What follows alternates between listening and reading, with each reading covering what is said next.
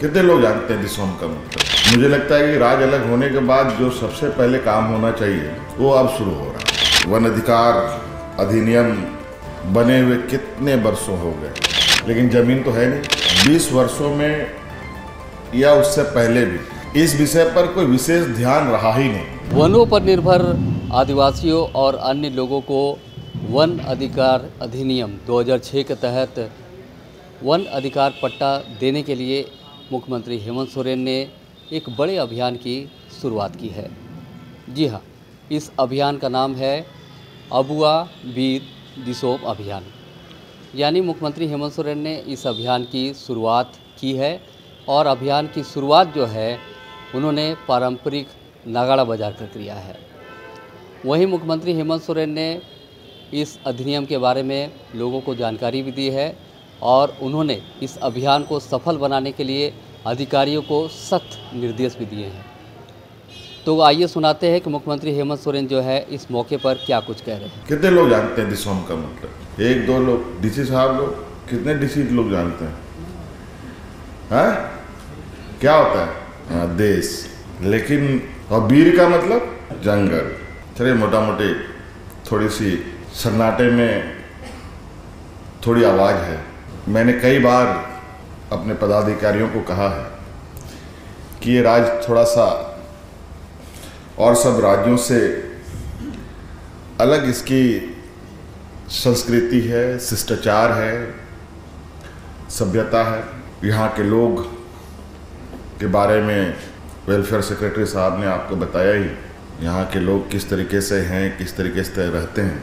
और मुझे लगता है कि राज अलग होने के बाद जो सबसे पहले काम होना चाहिए, वो अब शुरू हो रहा है। तीस प्रतिशत के लगभग वन क्षेत्र हमारा राज्य में। और जंगल झाड़ मिला करके कह लें तो लगभग पचास प्रतिशत।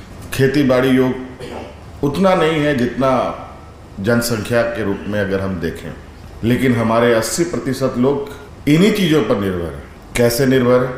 मात्र 20 प्रतिशत लोग जो बाज़ार में, शहरों में हैं और बाकी सभी लोग खेती बाड़ी पर है।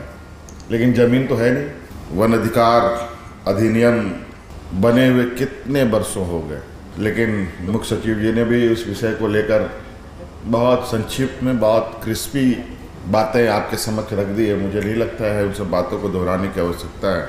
मुझे लगता है कहीं ना कहीं 20 वर्षों में या उससे पहले भी इस विषय पर कोई विशेष ध्यान रहा ही नहीं। ये लगता है सरकारी कार्य की व्यवस्था में ये कूड़े के ढेर पे रखा हुआ ये एक्ट था। और शायद यही वजह है कि आज हम बहुत हुज्जतों के बाद वन अधिकार को एक मुहिम का शक्ल देकर हमें उतरना पड़ रहा है।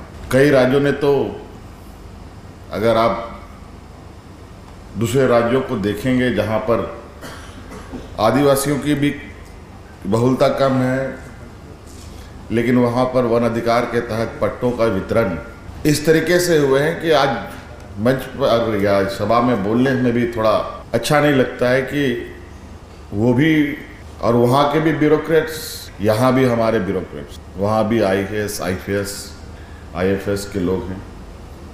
यहाँ भी हैं, भरे पड़े नहीं, ये काम करने में ये अंतर क्यों आता है?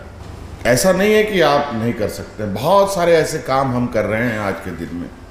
जो काफ़ी सफलतापूर्वक आप सब मिलके कर रहे हैं। तो वन अधिकार अधिनियम 2006 के तहत जिस तरह से आज मुख्यमंत्री हेमंत सोरेन ने अबुआ वीर दिसोम अभियान की शुरुआत की है, इस अभियान से कहीं ना कहीं उन लोगों को, यानी झारखंड के आदिवासियों को लाभ मिलेगा जो आदिवासी जो है वनों पर निर्भर रहते हैं।